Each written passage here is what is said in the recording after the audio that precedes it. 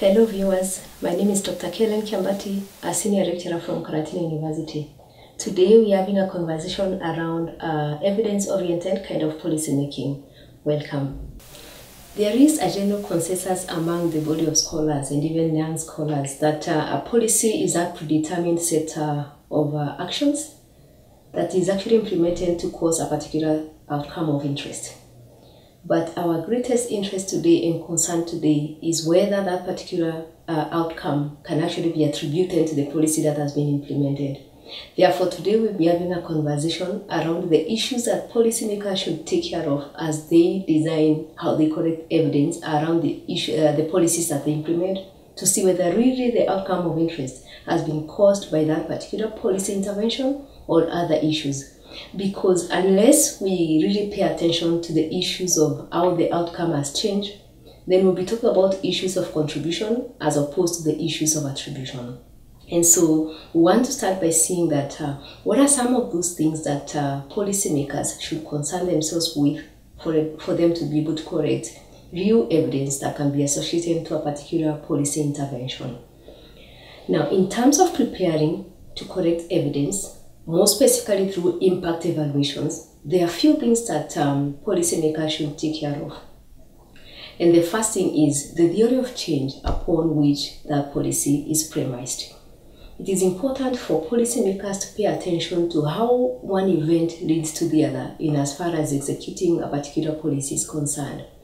You need to sit down and envision what is likely to be caused by that particular evidence so that you're telling people or you're telling the concerned citizens this is what we expect, and this is the flow of events that uh, expected in as far as executing a particular policy is concerned.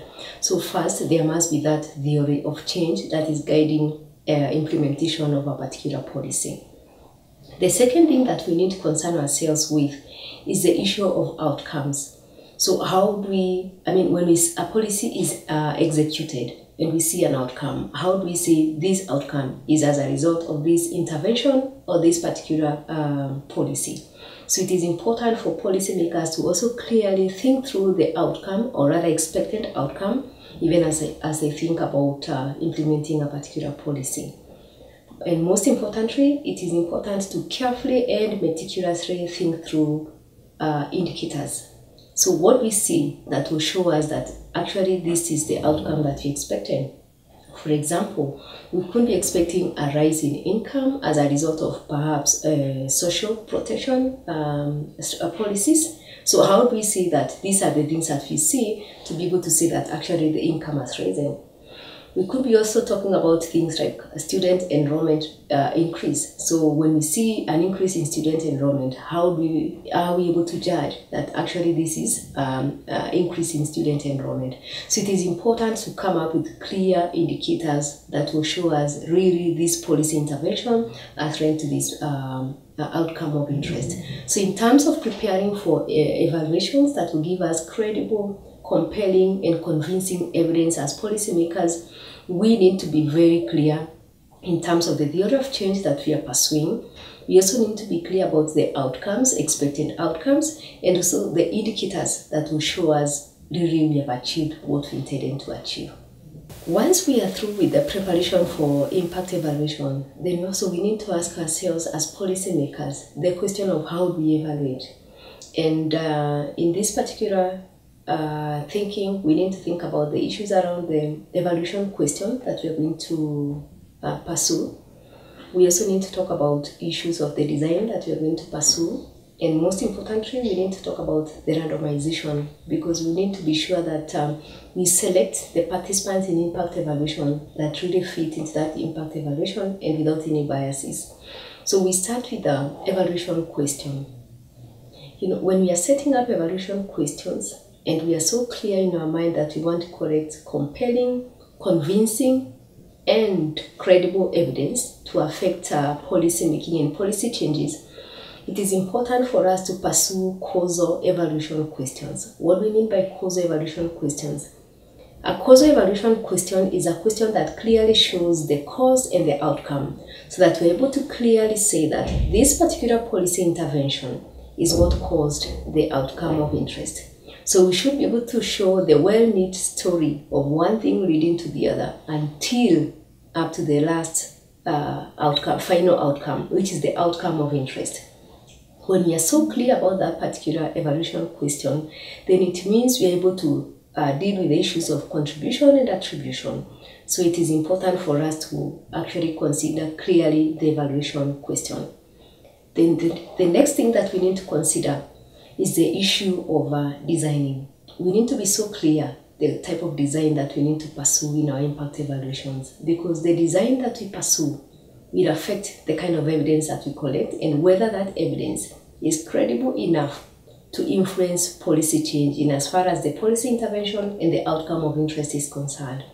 So you need to be clear whether what type of an experiment you want to set. Do you want to set up a randomized controlled trial that is a pure experiment? Or do you want to set up a quasi experiment? You know, a quasi experiment is an experiment where the intervention has been uh, uh, given by another person and uh, not, not the person carrying out the evaluation. So we need to be clear about the designs we need to follow. And then most importantly also, we need to be clear about the method that we want to use we want to use a single difference or difference in difference. What we mean by this? When we talk about a single difference, it means that you're simply having a problem with um, the data sets that you have. Most probably you have a data set on a baseline or sometimes you do not even have that baseline uh, data, uh, data set. Therefore, you're not able to clearly say that this was the beginning before the intervention and this is the outcome or the change that has been caused by that particular intervention. But the most preferred method of impact evaluation, if we are really to come up with credible and convincing evidence, is to, is to use what we call difference in difference.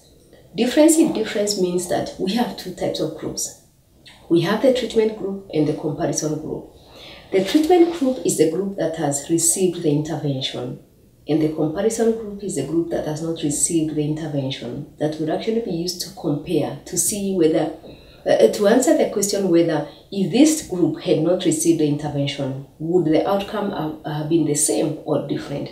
So it is important for us to make those comparisons. And when we make those comparisons, we are pursuing what we call counterfactuals. It is only through a counterfactual that policy makers are able to say with certainty that the evidence I've collected can actually be attributed to the intervention that has been given and that they can actually pursue a, a policy change. Now, the policy change that can be pursued here can be either, if it was a pilot, it can be now rolling out the project to the entire population, or to make a few amendments uh, depending on the evidence that is collected so that now we are not wasting resources. Because remember that term, um, the people funding the intervention, as well as the citizens, are concerned about the resources that are being spent. So as policymakers, it is important to be very careful about the intervention and how we execute them.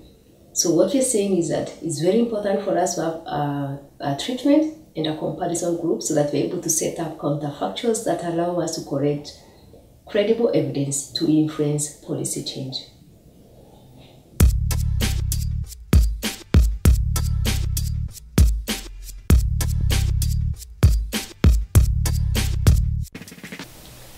The other important thing that uh, policymakers need to consider in as far as collecting evidence uh, to influence policy change is um, the expected challenges and how to deal with them.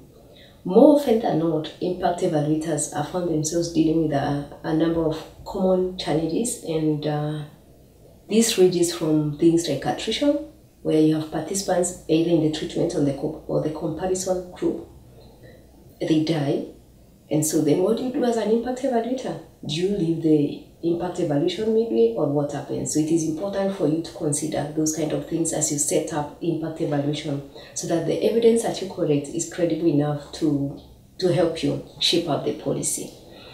We also need, uh, impact evaluators also need to consider the issue of um, spillovers. You know, when the people who are not expected to receive the effects of the of an intervention, end up receiving the, the, the, the effect of an intervention. How do we deal with that?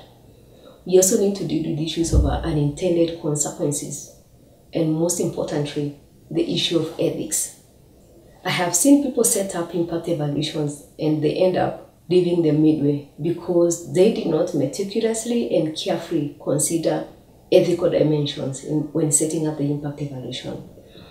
More often than not, this has continued to become a very um, thorny issue in the area of evaluation, so it is important to consider all ethical issues that directly to affect your evaluations.